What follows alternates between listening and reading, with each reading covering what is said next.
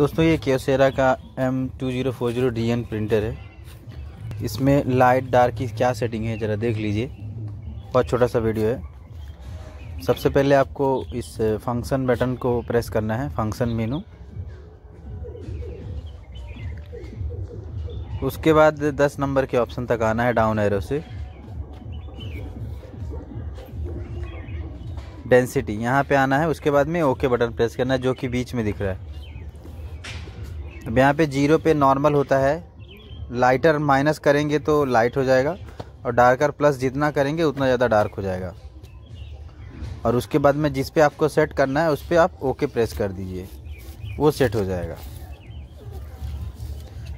तो minus lighter के लिए लाइट कॉपी और डार्कर प्लस के लिए डार्क कॉपी तो ये थी छोटी सी सेटिंग एक बार और देख लीजिए। फ़ंक्शन मेनू, दस नंबर तक आना है। डेंसिटी पे ओके कीजिए।